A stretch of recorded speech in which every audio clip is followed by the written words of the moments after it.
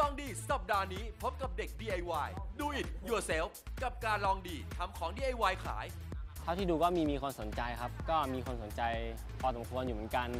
ก็มาสอบถามบ้างว่าทำยังไงทำจากอะไรยังไงครับผมแต่ว่าเหมือนกับตลาดของ DIY หรือว่าตลาดทางแฮนด์เมดเนี่ยเหมือนกับยังจะไม่ค่อยดัง อาจจะยังไม่เป็นที่สนใจของคนทั่วๆไปมากครับผมจะเป็นอย่างไรห้ามพลาด ลองดีเสาร์นี้8นาฬิกา30 นาทีทางช่องวันและ OKMD TV ห้ามพลาดครับ